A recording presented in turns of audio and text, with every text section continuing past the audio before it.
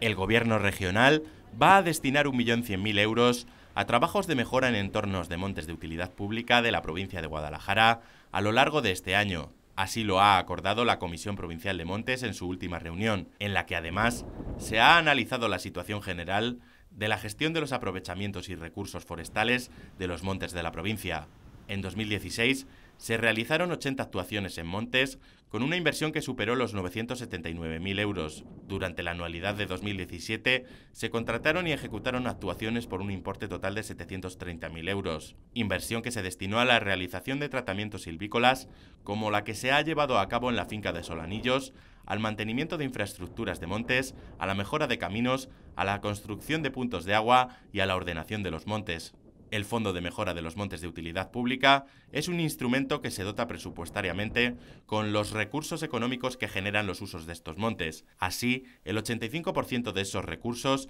se destina a las entidades locales y el 15% restante es gestionado por la Consejería de Agricultura, Medio Ambiente y Desarrollo Rural, que lo invierte íntegramente en actuaciones de conservación y mejora de los propios montes.